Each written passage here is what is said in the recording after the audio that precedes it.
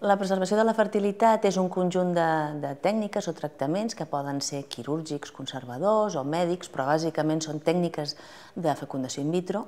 Aquestes tècniques van dirigides a, a les persones que se'ls ha fet un diagnòstic d'una malaltia greu i que implica fer un tractament que pot afectar o ser tòxic per, pel teixit de l'ovari o pel teixit testicular i aleshores, eh, abans de fer el tractament, eh, fem la congelació d'aquests gamets, eh, els òvuls o els espermatozous, o bé de part d'aquest teixit, del teixit testicular o del teixit ovàric, amb la intenció d'un cop superada aquella malaltia, en un futur, aconseguir un embaràs. L'efectivitat d'aquestes tècniques ve condicionada bàsicament per la pròpia qualitat de les, de les gàmetes. Per exemple, els espermatozous moltes vegades ja s'ha vist que en context de malaltia ja pot donar qualitat seminal més baixeta. Llavors dependrà de finalment quina qualitat tinc jo congelat amb aquella gàmeta, el que em donarà el rendiment posterior. En relació a la dona, està molt, molt relacionat amb l'edat de la dona. Una dona més jove té, tindrà més òvuls, haurem aconseguit congelar més òvuls i són de més qualitat que una dona que sigui més gran. Existeixen diversos tipus de tècniques de preservació de la fertilitat. Hi ha des de la cirurgia conservadora, que realitzen determinats casos, passant per la criopreservació d'òvuls o òcits, la preservació de teixit ovàric i finalment la quimioprofilaxi però són les més importants i les que habitualment utilitzem, la criopreservació d'òvuls o congelació d'aquests òvuls i la criopreservació o congelació del teixit ovàric, de l'escorça ovàrica. La criopreservació d'òvuls o congelació d'aquests òvuls consisteix en vitrificar, en congelar aquests gamets, aquests òvuls, una vegada hem fet una estimulació ovàrica. De fet, és la tècnica de l'acció, sempre que puguem fer-la, és a dir, sempre que tinguem temps per portar-la a terme, que necessitem uns 10-12 dies per poder fer l'estimulació ovàrica, i la dona tingui una bona reserva d'òvuls en el moment en què hem de fer aquesta tècnica. Quan fem una estimulació ovàrica, de fet el que fem és administrar hormones que es posen les dones via subcutània, com si fos una insulina o heparina, durant un període de 10-12 dies. Fem un control molt estricte, tant analític com ecogràfic, durant aquest període, venen 3-4 vegades a veure'ns a la consulta, i anem veient com els folicles, que són petits quistos on dins està l'òvul, van creixent. Una vegada l'ovari està estimulat, finalitzem aquesta estimulació, la dona la portem a quiròfan, fem una petita sedació i amb una cirurgia que dura 10-15 minuts traiem els òvuls i els congelem, els guardem, perquè en un futur els pugui utilitzar. La criopreservació del còrtex ovàric és una tècnica actualment considerada experimental en Europa. Vale? De fet, som un centre de referència i és una tècnica que només la fem quan no podem fer la congelació d'òvuls. La fem fonamentalment en tres situacions. Una, quan no tenim temps.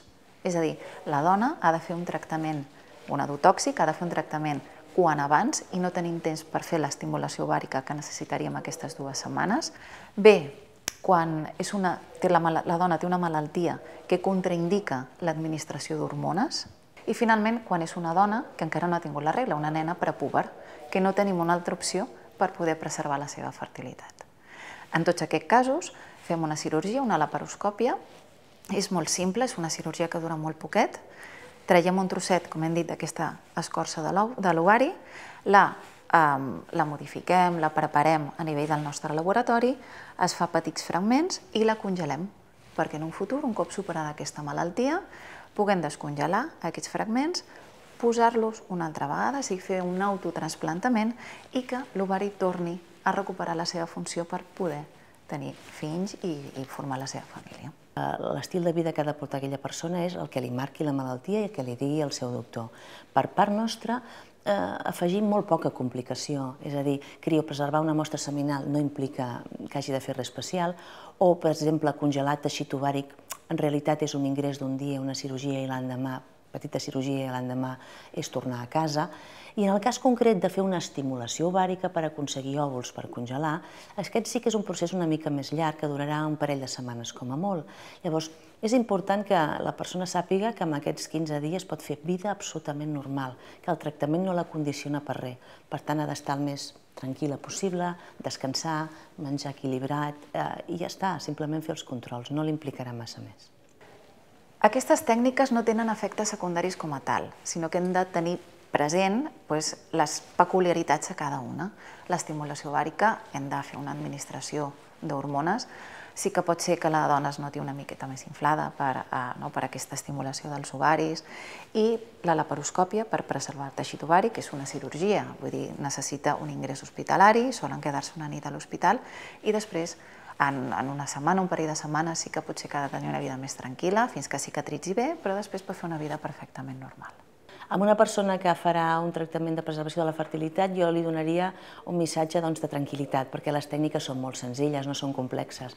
I per altra banda també d'alegria, perquè eh, per un costat ha d'estar forta per fer el seu tractament i per curar-se, i per altra banda eh, ha de pensar que cuidarem, congelarem els seus òvuls o els seus espermatozous perquè en un futur eh, pugui utilitzar-los i, i aconseguir i assolir el seu projecte de família.